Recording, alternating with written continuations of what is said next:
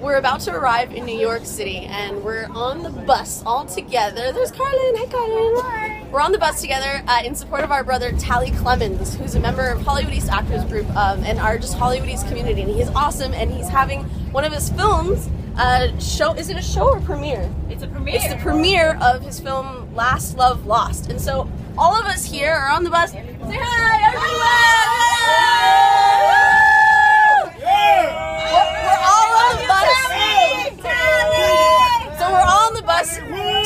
to to show our support for our brother Talli Clemons, who we love very, very much. So we're all part of the movement. This is officially the movement bus.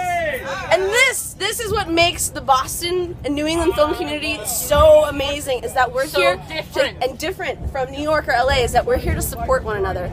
We we're like going out of our way to like to be there for like one of our much loved members of our community, and I think that's really what makes all the difference. And I just want to add that although there's 32 people in this bus, we are taking the love of all the people that couldn't be here. Yes. We got your notes, we got your message, we got your text, and we're taking all that to Talli. Taking all that love to Talli. All right. Say, all right. Say bye.